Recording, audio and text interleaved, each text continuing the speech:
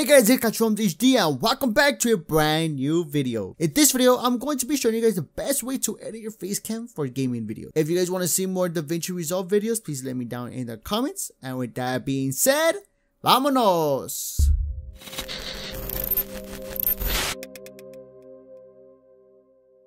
Alright, so let's get started. Like I mentioned, I'm going to be showing you guys the best way to edit your face cam for gaming videos. Unfortunately, I don't have no gaming content recorded as of now. Not saying I don't record any gaming content. I just don't have anything saved. Most of the time when I record, I just delete it because I'm never going to use it. So for this example, I'm, I'm going to be using a reaction video. Don't worry, the concepts are still the same. Uh, It's just, it's not going to be gaming related it's just gonna be a reaction video. Now something that you guys want to remember is that everyone has personal preference. You might not like the way i do it and you might not like the style that i do it but the thing that i want you guys to remember is that the way i'm doing it works out for me and it's so much easier than other methods that i have tried. Saying that you guys might change the positioning of of your face cam it's right it's your video right you guys might want to add a shape in your face cam. Like I said, it's right. It's your own video.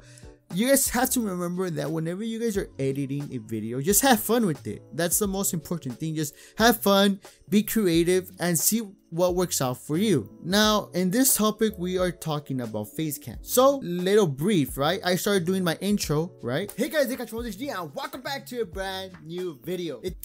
So this is from my second channel, CachoFilmz HD. I'm I'm gonna be leaving a link down in the description so you guys can go ahead and watch it. So yeah, I started out doing my intro, full screen and everything. Wow, works out good. And right here is where the video actually starts. Sidemen hole in the wall. Something that you guys could tell right away is that I don't have my face cam like normal, right? I have it in a circle. Why? Because it doesn't take up too much space from the video. And this implies to gaming videos, right?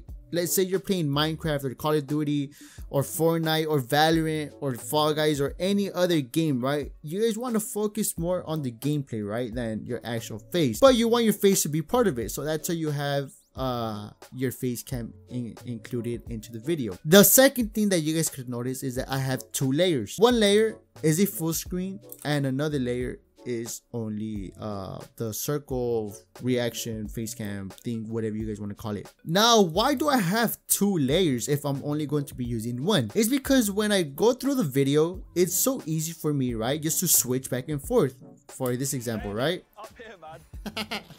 You're such a dickhead my boy be looking like a wwe wrestler. It's so easy it's so easy for me just to switch and I don't have to go ahead and cut it and edit anything like this. Basically, if you guys want to go ahead and learn how to do this, I'm going to be showing you guys. So, uh, let's go grab this clip. Let's go grab this and this. Perfect. So, this is a face cam. We are going to go to Fusion and we are going to deselect. So, this is how it starts, right? Let's go go ahead. You are done with your color grading and everything that you guys want to do right? And of course guys i do have color grading here. Uh oh i don't think i do i have color grading? Yes i do have color grading. It just i just have it as a uh as a compound clip. So i think if we just decompose it there you go. Look i have my color grading here. Now what you guys want to do is go click alt in your keyboard and just drag it up. And now you have two clips. If you guys want to go ahead and add like any shape or anything like that what you're going to do is go to fusion. For this example i'm going to be using a eclipse a circle. But if you guys want to go ahead and add a rectangle or anything like that the option is right next to it. Grab the eclipse.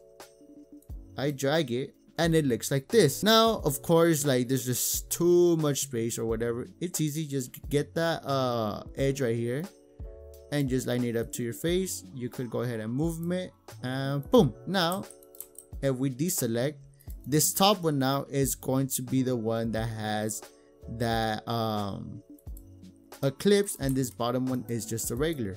So if i go ahead and drag it right my face is right here. Now, if you guys want to go ahead and deselect if you guys go just click D, this is what you have, right? Another thing that you guys could do if you guys want to be creative is go ahead and add another layer.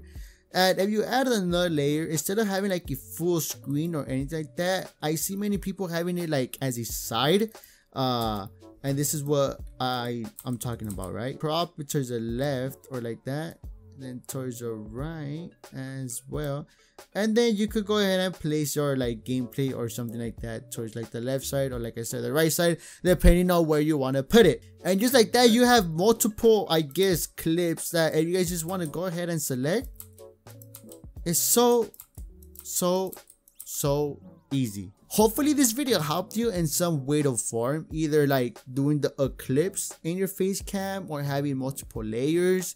Uh maybe you guys haven't tried that method out or just anything because it's it's basically comes down to your creativity and how you guys want to go ahead and place your face cam in these videos. Like i said everyone has different ways to do it. This is my way to do it. I prefer this way. I know when i laughed. I know when i had like a funny face expression or anything like that. So i could easily just go scroll through the video or anything like that and um it makes it so much easier like